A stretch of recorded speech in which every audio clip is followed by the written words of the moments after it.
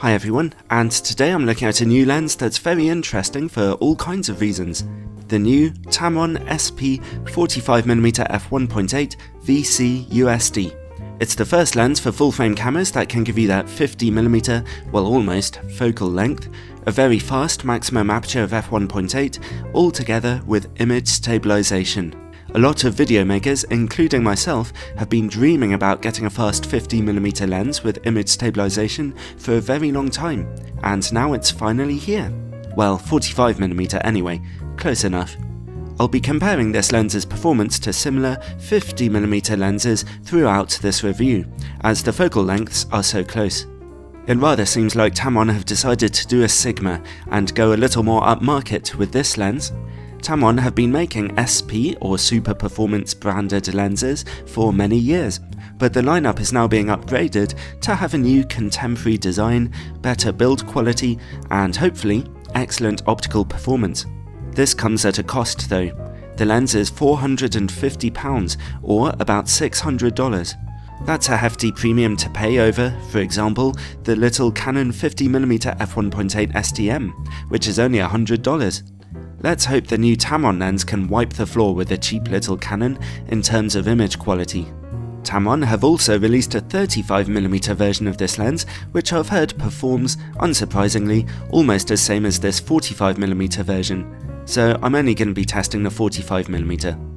That focal length is, of course, extremely useful for everyday photography, a classic standard focal length which can give a very out of focus background at f1.8, but also a reasonably wide background.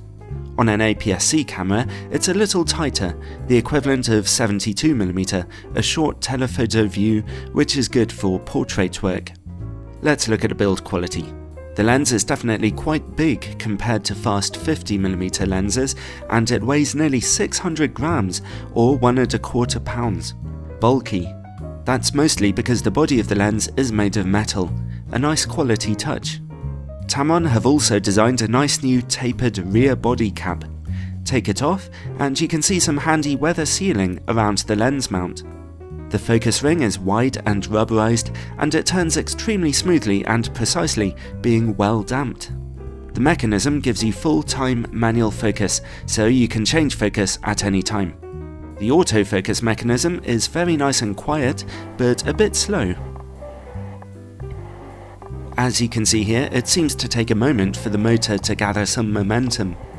However, although the motor is a bit slow, I found it to work a lot more accurately than normal for a third-party lens. My copy was almost as accurate as a Canon lens, missing focus only occasionally. My copy of the lens was also rather slow to focus in live view mode. For example, here's some footage of video autofocus on a Canon 70D. It's not particularly sure of itself, and you can hear some clicking as the autofocus micro-adjusts itself. Anyway, the headline feature of this lens is image stabilization, or VC as Tamron call it. Let's see how effective it is on a full frame camera. Here's some footage with stabilization turned off, and now on. We hear a very gentle whirring sound, barely audible, but the mechanism seems to be working very effectively. It's even well behaved as you pan and tilt the lens around.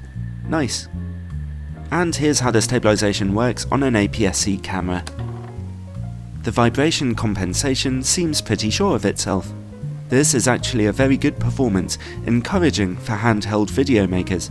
And for stills photographers, well, it enabled me to get this shot taken handheld in the moonlight on Christmas Eve. Handy. Overall, the lens is a bit bulkier than I expected, but it has very nice, solid build quality, a big step up for Tamron, and the image stabilization is pleasingly effective for video work or normal photography. It just doesn't have the world's most confident autofocus motor. Alright, image quality. Firstly, on a 20 megapixel Canon 6D. Straight from f1.8, the lens is razor sharp in the middle of its images. And, looking over into the corners, we also see excellent sharpness with little chromatic aberration. Normally 50mm lenses have serious problems in the corners of their images, so that's quite an achievement for Tamron. It's almost as sharp as the Sigma 50mm f1.4 art lens, which I have classed as being the sharpest lens I ever tested. Stop the Tamron lens down to f2.8 for an extra kick of sharpness and brightness, and maximum sharpness is reached at f5.6. Fantastic. Let's try it on a more difficult playing field of a 20 megapixel APS-C sensor on a Canon 70D. In the middle of the picture, straight from f1.8, we continue to see excellent resolution. The corners of the image are also holding out very well indeed, looking nice and sharp with some very slight magenta chromatic aberration. Stop down to f4 for truly excellent sharpness and at f5.6 we seem to reach perfection. So it appears that Tamron are the new Sigma. A really superb technical performance from this new lens, whether you're shooting full frame or APS-C. Let's move on now and look at distortion and vignetting on a full frame camera, as they're not usually an issue on APS-C. The lens displays just a hint of barrel distortion, barely noticeable. At f1.8 we see some quite dark corners, but that vignetting is not quite as bad as usual for a fast standard prime lens.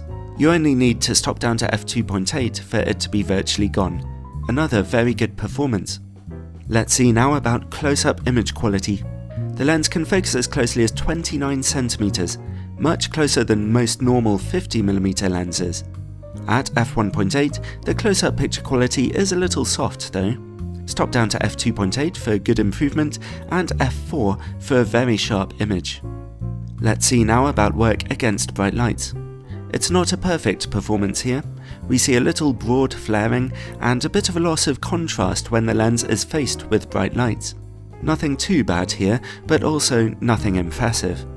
For those of you who need to know about coma levels, you'll be glad to see that this Tamron lens has no significant issues. At f1.8, in the corners of your images, you can see that bright lights are just a tiny bit smudged, but stop down to f2.8 and the issue is gone. A good show here. Finally, bokeh. Generally, the outer figure's backgrounds are rendered very smoothly indeed. Even very busy backgrounds subtly melt away. When faced with extremely bright points of light, you'll catch a little bit of an onion ring effect though. Well, I had the pleasure of testing out this new lens for a few weeks over Christmas and it made a big impression on me. It's going to be very useful for future bits of video work I'm planning. Its optics aren't totally perfect, but it's certainly an extremely sharp lens with excellent control of distortion, vignetting that's not too bad, nice quality bokeh, and some extremely useful image stabilization. Tamron are showing the world that they really can play in the big leagues if they want to. It could be a real professional workhorse for a lot of photographers and filmmakers, and so it comes very highly recommended.